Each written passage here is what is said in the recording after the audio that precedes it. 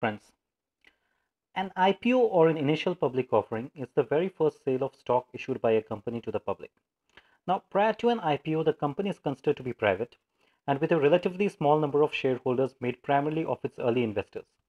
Basically, the selling of IPO by a company also means that the company is going public.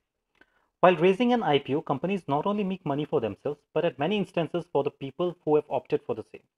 Here in this video, I shall show you how to place an order for an IPO using ICICI Direct's app interface. Now, once you are logged in, this is the screen that you should get. Once you're on this screen, then for buying an IPO, as you can clearly see that on the fourth row, the third option is mentioned as IPO. You can click out here. Once you've clicked out here, again, you can see various options. There is place order, order book, PG transaction, allot, allocate flip funds, limit, demat allocation, my message, form 15G, form 18, 15H. Now you can click on the first option that is place order.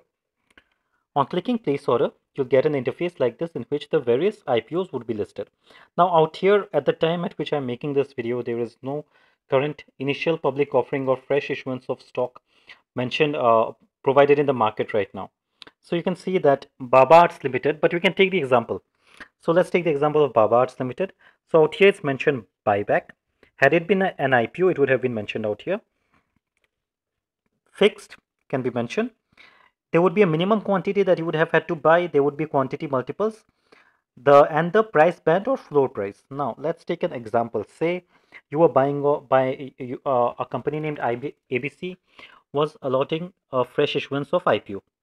Now in that case, ABC would have been mentioned out here in the PDF file out here on the top of ABC. The details of the organization would have been given. The minimum quantity that you, you have had to buy would be mentioned out here, say 50 shares. And the quantity multiples would again be say 50. So that would mean that you can buy 50 or 100 or 150 shares. You cannot buy uh, any amount, any random amount that you want, say like 72 shares in that case. The price of each share would be mentioned out here the start date at which the IPO was issued and the end date of the IPO issuance would be mentioned out here. Finally, you can just click on apply now after looking at all these values. Once you would have clicked on apply now, then in the next page you would have been allowed to uh, enter the offered quantity. Again, like I said, this would have been in the multiples of the number that was mentioned in the previous page. You could have uh, written the price or maybe it would have got auto populated and finally, you could have just submitted the order. You could have either selected again allocation or net banking. So either way, what happens in the issuance of an IPO is that your amount gets blocked in your bank account, your integrated bank account.